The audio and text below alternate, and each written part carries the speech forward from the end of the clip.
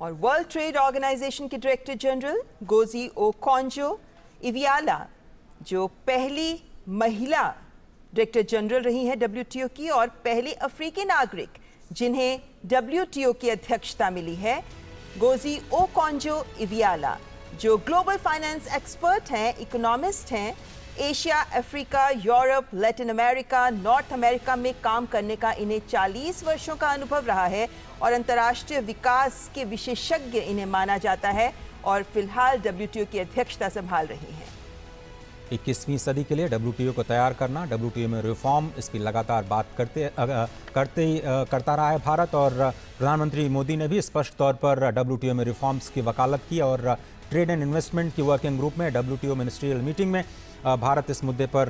लगातार बात करता रहा है कि विकासशील देशों को ग्लोबल साउथ की आवाज़ को डब्ल्यूटीओ में और ज़्यादा तरजीह दी जानी चाहिए। मार्केट एक्सेस में जो विकसित देश हैं, विकासशील देशों की मदद करें। प्रधानमंत्री Narendra Modi, Ngozi Okonjo Iweala WTO के डायरेक्टर जनरल का स्वागत करते हुए।